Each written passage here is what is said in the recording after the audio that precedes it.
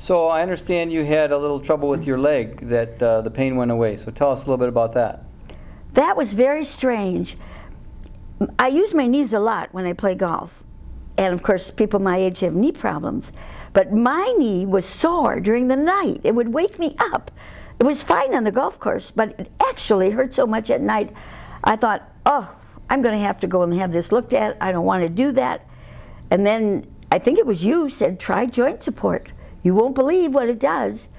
Well, I can hardly believe what it did. In three, four days, that pain in my knee was less.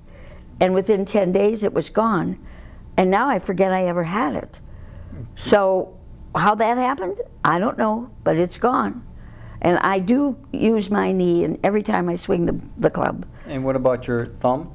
Well, I noticed that right away. I don't have much arthritis except in my right thumb, and it's very bad.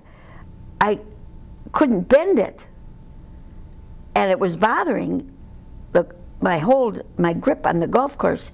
And now look, I can bend that. It's just about gone. And you think that's from joint support? Well, what else? I- It has to be that because I don't do anything different, and arthritis is a chronic disease. And how many times do you play a week? Three times. And how many times can you play days in a row? Well, I didn't used to be able to play two days in a row.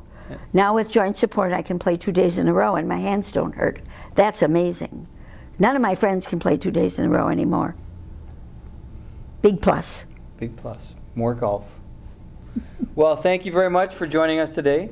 It's a pleasure to have you.